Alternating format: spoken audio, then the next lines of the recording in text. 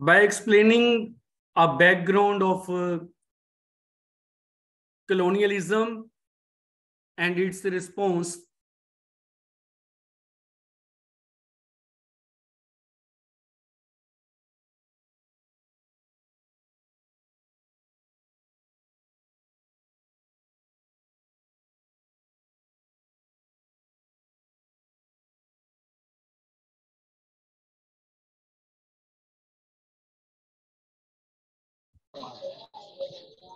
the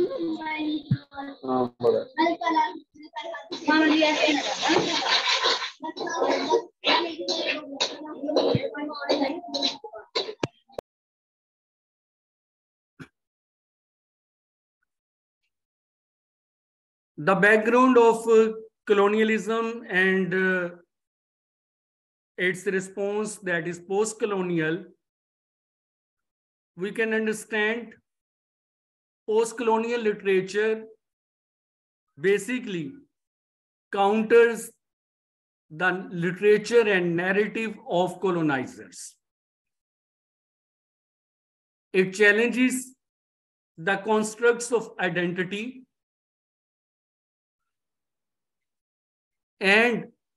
sweeping generalization about the cultures civilization and philosophy of the natives. But post colonial does not mean anti colonial. Anti colonial का मतलब होता है कि colonial के खिलाफ है पोस्ट कलोनियल का मतलब है कलोनियल के बाद it does not mean anti colonial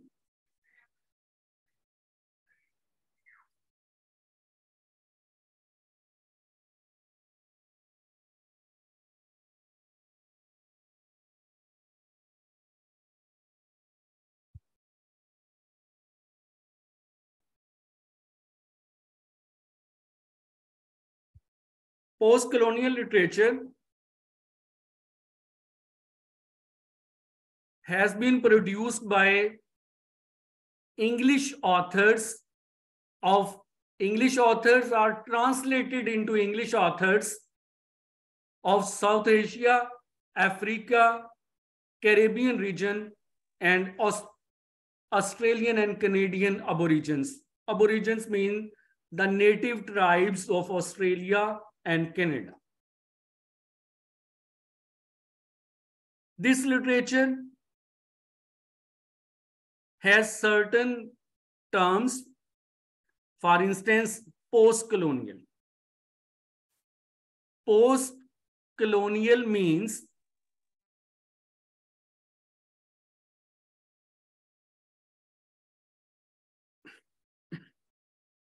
a time post colonial means a theory post colonial means a condition यानी पोस्ट कलोनियल के तीन हवाले से मतलब है और तीनों में अभी बताता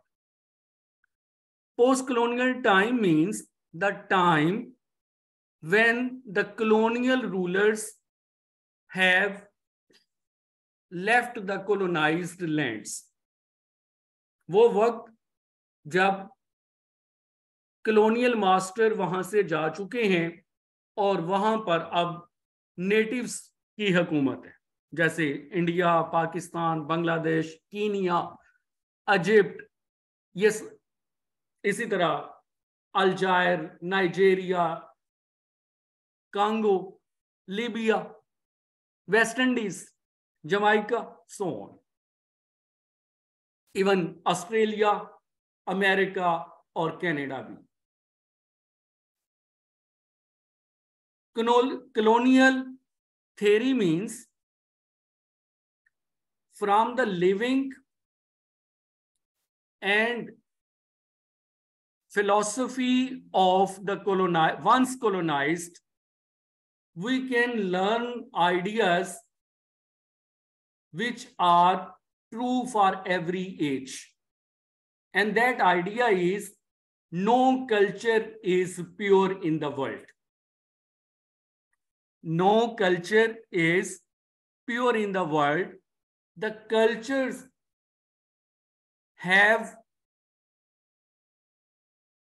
a history of influencing others and being influenced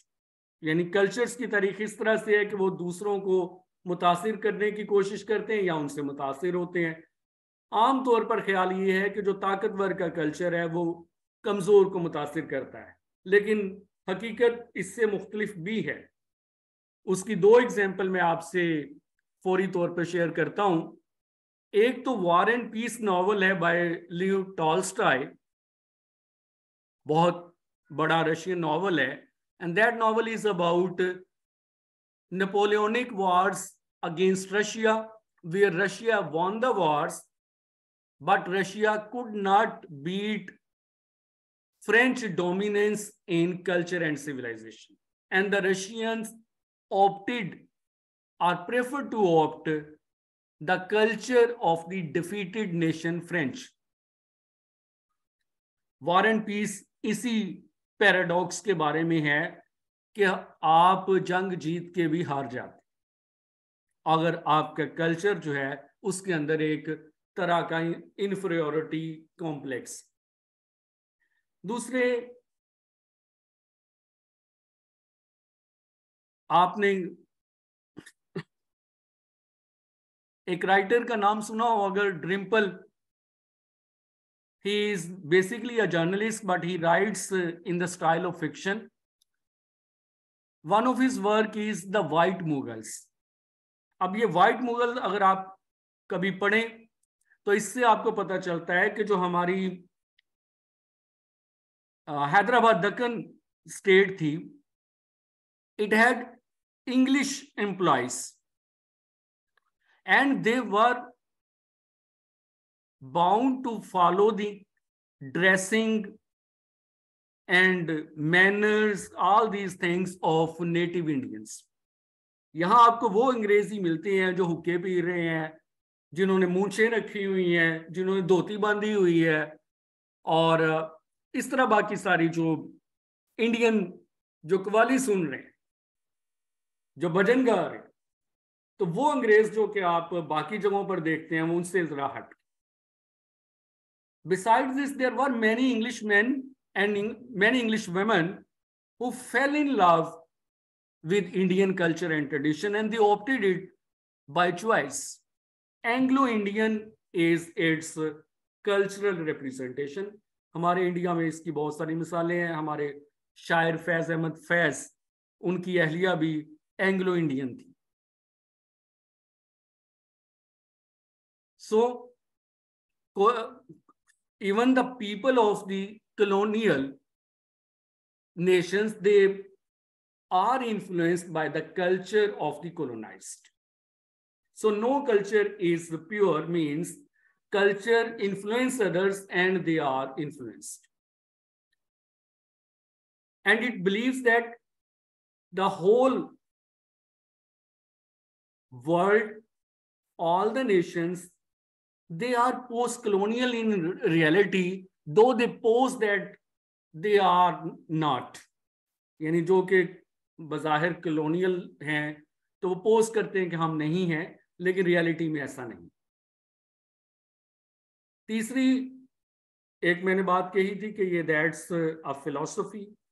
and a time and third one it's a condition condition means post colonial state और condition stand for a grey area a state of hybridity and ambivalence where there is a continuous struggle to be something यानी colonial master ने जो standard रखा है उसको attain करने की कोशिश में मुसलसल लगी रहती हैं और मुकम्मल तौर पर कभी भी वो उसको हासिल नहीं कर पाएंगे जैसे अपनी स्किन का कलर गोरा नहीं कर सकते जैसे नेटिव इंडियंस जो है वो इंग्लिश नहीं बन सकते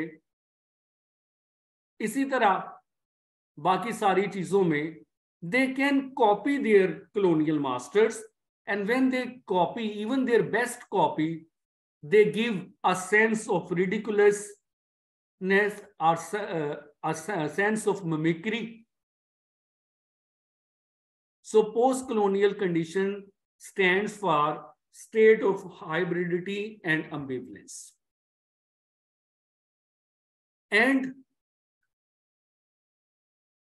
Hybridity means blend of two or more. Culturally, it means blend of two or more cultures. In post-colonial context, it means blend of the colonizer and colonized.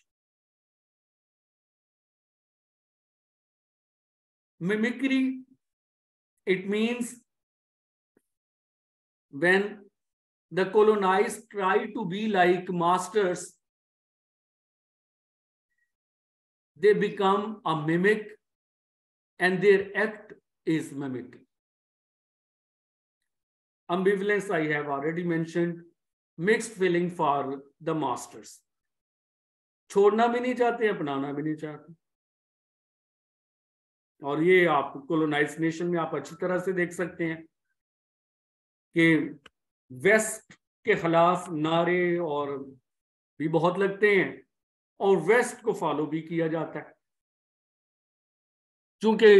यहां हमारा उनके साथ रिलेशन ही ऐसा है इसके अलावा सेल्फ एंड अदर का concept है और सेल्फ से मुराद one who has a sense of belonging. One, uh, self means through whose perspective the world, the cultures, the philosophies are seen, and other is contrasted with him. Edward Said के ख्याल में colonialism में ने ऐसी dual mentality create की कि वहाँ एक कल्चरल हैजमनी बन गई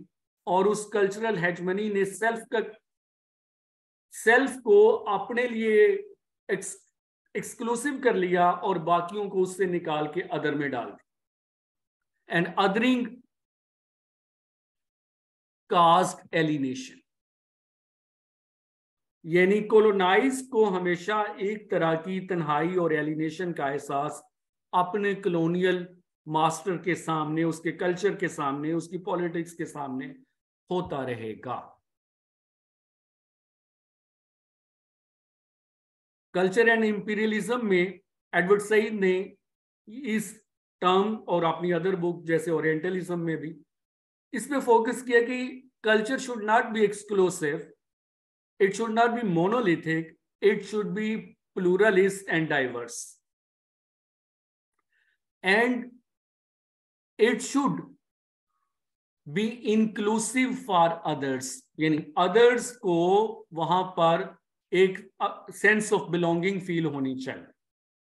और ये तभी हो सकता है जब उनके कल्चर को भी अपना कल्चर माना जाए जब ब्रिटिश अंपायर माने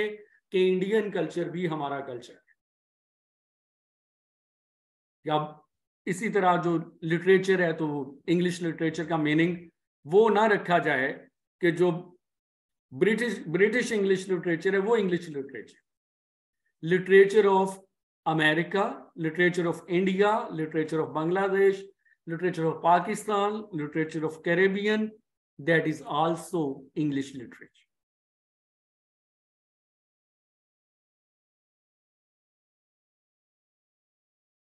post colonial writers ने ही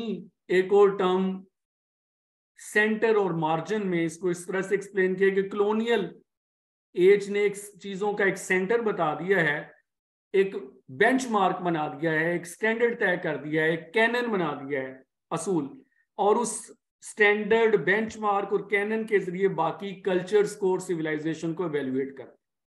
तो ये क्राइटेरिया बनाना भी बिल्कुल गलत था जो सेल्फ में बनाया गया और सेंटर से उसको कंट्रोल किया गया and this think that from centre there are margins and the people at margin they feel alienated whenever they are compared with the centre in debates ने other deprived communities like women, transgender, minorities, and different people of ethnic subjugation. They also try to associate with the, this theory and with this idea of self and other and center and margin.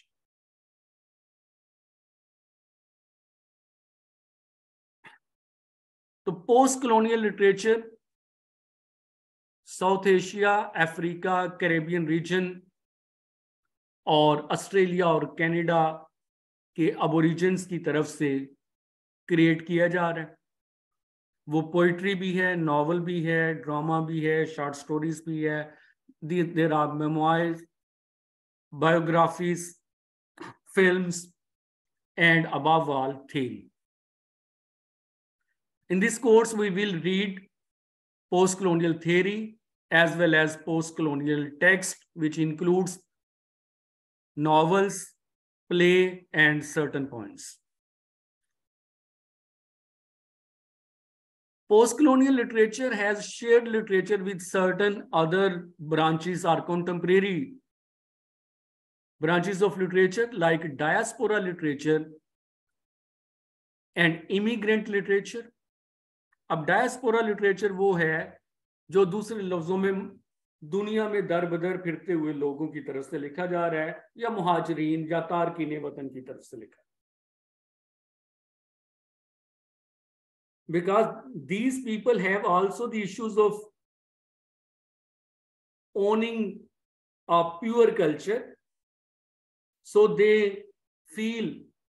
associated with post-colonial ideas. Ideas of hybridity, ideas of mimicry, ideas of ambivalence, and the question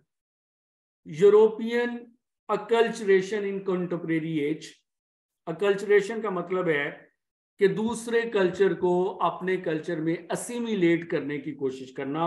अपने culture में जम करने की कोशिश करना instead of integrating one culture with others diaspora literature which focus is rootlessness and migration and third space they also feel that in post-colonial tradition, a sense of rootlessness is there. And in post-colonial tradition, there were forced migration. जैसे India से जबरी तौर पर मजदूरों को जो है भर्ती करके तो ले जाया जाता था ये Indonesia Fiji and different countries Indian novelist Amitav Ghosh has written a lot of novels like the uh, Glass Palace and Hungry Tide about this migration.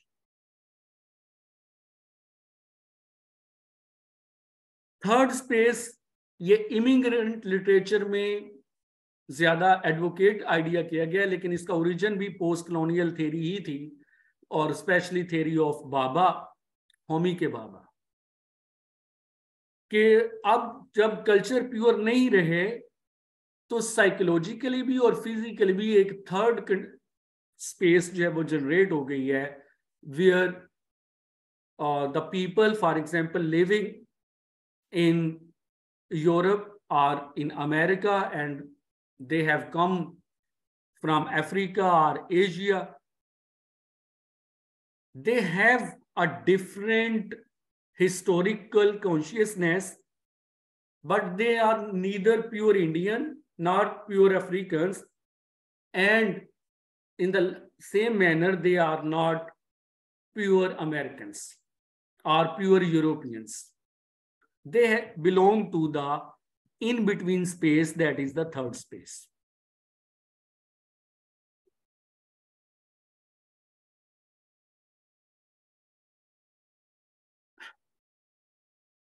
अगर हम इस पोस्ट कॉलोनियल लिटरेचर के बस सरसरी सी मैं बात करूं तो यहाँ पर हमें ऐसे राइटर नज़र आ बेशुमार राइटर्स हैं जिनका जिक्र एक एक राइटर को जब हम डिस्कस करेंगे तो उस वक्त मैं करूँगा सिर्फ अभी एक कुछ ग्लिम्स ही हैं सिर्फ आपके लिए कि in India there were writers who have been writing in English and some of them were of Indian origin and some even they had different origins. For example, Indian poet Nasim Ezekiel, who is a leading dramatist and uh, a poet of India, who wrote A Time to Change, Him in Darkness, Night of the Scorpion. He actually belongs to uh, Judaism. He is a Jewish Indian poet. So he is Indian, but he is not Hindu. He is not Sikh and Bodh. जो यहाँ के native religion है उनके साथ उसका ताल्लुक नहीं है and his actually father migrated to india and he settled here and he was born in india and another american uh, english uh, fiction writer Ruskin Bond Ruskin Bond एक uh, अंग्रेज Indian uh, है ये वो अंग्रेज है जिसका अंग्रेजों से कोई तल्लुक नहीं and his ancestors actually came to India in twelfth century यानी जिसके बावजूद बारहवीं सदी में हिंदुस्तान आए थे और ये वो ज़माना है कि जब यहाँ पर सलातिन दिल्ली की हुकूमत होती थी और हम पढ़ते हैं किताबों में कि अभी मुगल भी नहीं आए थे उस वक्त अंग्रेज ये ईस्ट इंडिया कंपनी के साथ और उसके जो ब्रिटिश सारा वो रूल हुआ उसके साथ उसके उसके फैमिली का कोई ताल्लुक ही नहीं but by blood he is an English man his ancestors belong to that and he is a significant novelist of that age Arundhati Roy जिसके novel the God of Small Things का मैंने अभी जिक्र किया कि हमने उसको सिलेबस में पढ़ना है अरुंधति रॉय के अगर मैं कहूं कि maternal ancestors they were Syrian Christians अब ये है कि एक इंडियन है और इंडियन भी हिंदू नहीं है सिख नहीं है बल्कि क्रिश्चियन है और ये क्रिश्चियन वो वाला नहीं है जो 18वीं और उन्नीसवीं सदी में जो क्रिश्चियन पादरियों के साथ तबलीग की वजह से या उनकी सोशल सर्विसेज की वजह से कन्वर्ट हुए थे और उसमें मेजॉरिटी तो सो कॉल्ड अनटचेबल हिंदूज थे जो कि क्रिश्चियन कन्वर्ट हुए ये वो क्रिश्चियंस हैं जो फर्स्ट सेंचुरी में जब जीसस क्राइस्ट के जो शगीर थे वो दुनिया में तबलीग के लिए फैले थे तो one of them he reached India and they belong to that uh, you can say identity which is called syrian christian ab ye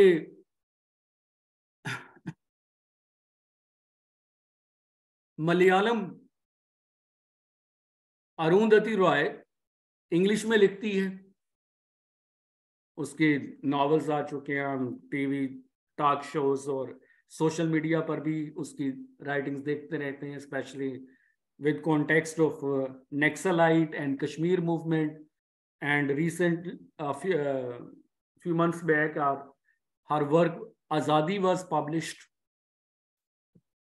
अब इसकी Indian identity is not the pure Indian identity Agha Shahid Ali and other Indian American Kashmiri Muslim poet. You can understand what I want to say from this very Indian American Muslim Kashmir. The title of his works Suraya Kamla Das, another Indian English poet, by birth,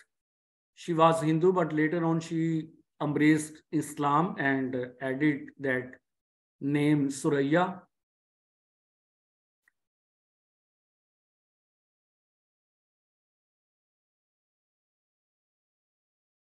In Pakistan, the people have been writing in English. Tawfiq Rafat is the most uh, significant English poet. Beside Tawfiq Rafat, there is Mahmoud uh, Daud Kamal, uh, a Pakistani poet belongs to Peshawar. Uh, Tawfiq Rafat and after Tawfiq Rafat, there is Athar Tahir. His poetry has been published. Alamgir Hashmi, another Pakistani poet, and his works have been published. I think in contemporary world, Alamgir Hashmi and makki Qureshi, they are given much importance in English poetry. Besides them, there is Muniza Shamsi and so on. to ye South Asia से अगर हम देखें तो different origins के writers हैं और ये सब जो हैं पोइट्री का भी मैंने अभी एग्जांपल दी और इनकी इनमें से most of them have their mother tongue is English and they have either acquired english language and they can uh, express themselves in english or it's their mother tongue and they have chosen to express in that language. Post colonial literature का एक phase drama है और ड्रामे के genre में हमें South Asia में बहुत बड़े बड़े ड्रामाटिस्ट नजर आते हैं probably the best dramatist whose written in English and is mother tongue is also English that is Mahesh Dattani and his play where did I leave my purdah that is in context of partition I have selected for your course Girish Karnad though his mother tongue is Kannada, but his wife's mother tongue is English. There you can say family language is English, and he has uh, written in Kannada and uh, himself translated his plays into English. The Dreams of Tipu Sultan is famous play of Gresh Karnad. Vijay Tendulkar, uh, dramatist of Marathi language, but his work have been translated by Grish Kannad and others in English. Very famous dramatist of our time. Uh, Silence the Court is in his session is his best play. A Bengali dramatist, Badal Sarkar, originator of a great idea of th third theater and pioneer of street theater He is a Marxist dramatist who wrote in Bangla, but his plays again have been translated into English. Evam Indrajit and Procession are his masterpiece.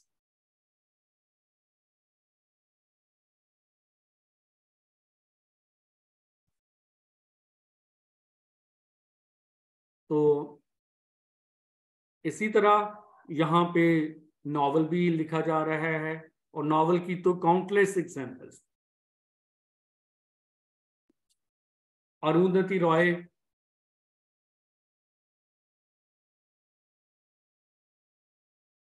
Amitav Ghosh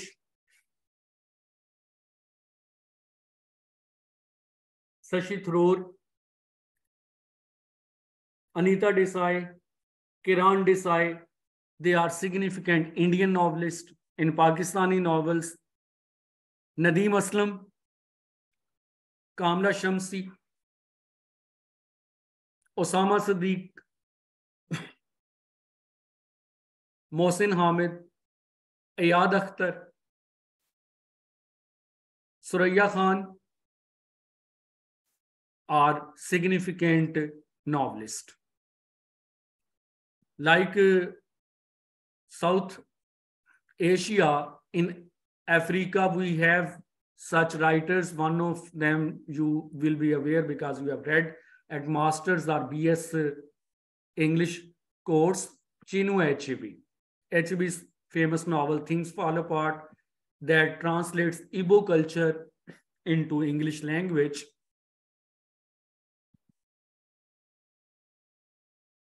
He is a Nobel Prize winner novelist, often counters uh, the representation of Joseph Conrad, who wrote The Heart of Darkness. Volshonika. Shonika is another Nobel laureate from Nigeria. Uh, HEB belongs to Ibo clan, Ibo tradition, and Shonika belongs to Yoruba clan. And he is a great poet, dramatist, and novelist. Death and the king's horsemen are the trials of brother Jiro are his best dramas. Ben Okri is another African novelist, very much famous these days. And uh, his work, The Famished Road, I have chosen for your uh, paper.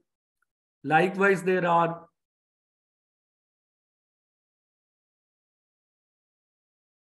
Uh, Caribbean writers. Caribbean is a region that is in neighborhood or adjacent to America where African slaves were brought and they were kept there as slave for sugar mining industry, uh, for sugar industry and uh, gold mining. And uh, with the passage of time, these slaves over the period of time created a language that is called Creole language. Most of them have either English or French languages because they learned those languages, they were educated in those languages, Some of them have won Nobel Prizes as well. A great dramatist and poet,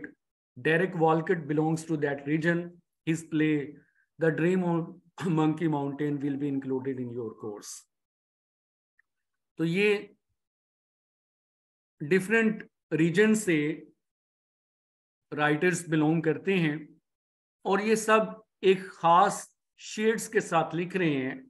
जिसको हम post colonial literature के अब ये post colonial literature एक तरफ तो hybridity mimicry ambivalence conflict of centre and margin conflict of self and other alienation rootlessness third space और acculturation जैसे थीम्स से बहस कर On the other side, they represent their cultural traditions through allusions, through their proverbs, through the characters and consciousness of their characters which belong to their homeland or they have migrated to any European are American first world nation. Root of this literature is often traced in theories of Baba, Edward Said, Franz Fanon, Nogugi Wathiango, Gyatri Spivak,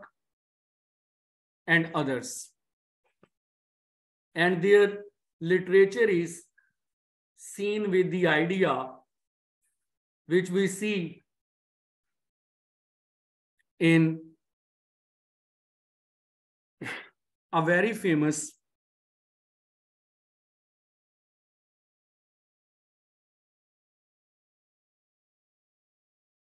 contemporary trends in English that is called trans Continental English tradition. That transcontinental mean English is not exclusively of England. It belongs to New Zealand. It belongs to Australia. It belongs to Canada and America. It belongs to India. It belongs to Bangladesh. It belongs to Pakistan. So we will discuss writers of these regions,